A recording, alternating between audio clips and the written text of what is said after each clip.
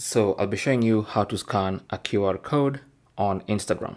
So let's say you want to quickly uh, find someone on Instagram via a QR code and follow them. So simply go to Instagram, tap on your profile icon, and then tap on share profile.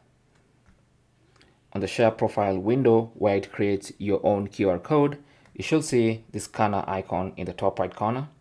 Tap on it. That's going to launch the QR code scanner of your phone.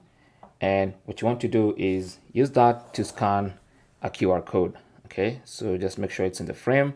And as you can see that is scanned. Now that's going to be my own profile.